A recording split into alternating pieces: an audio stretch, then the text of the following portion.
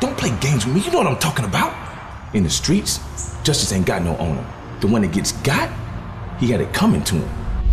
It's bad enough that you're out here being the enforcer for King.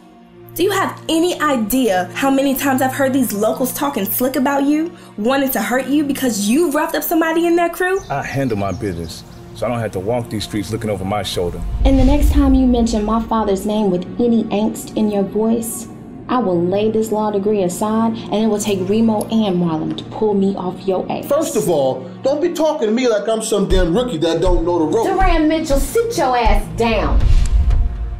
If you know what's good for you, you will put $250,000 in a duffel bag. I tell you what, I'll put that 250,000 in a duffel bag, and I dare you to show up and take it from me. What the heck is this about, man? You have to talk to me at least so I can figure out a way to make sure our home is safe. Let, that was a long time ago. I just need you to please understand that I was a different person then.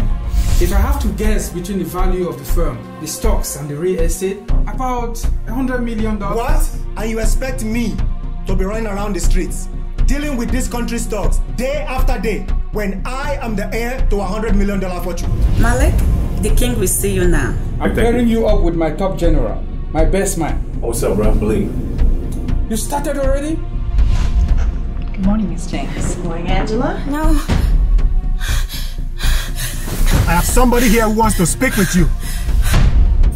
Every time I close my eyes, I see him. Don't worry about that, dear. It will all take care of itself. Are you okay, my dear? I'm fine. Let's go home. What's good, boss? We got business, fellas. It is not nothing nice.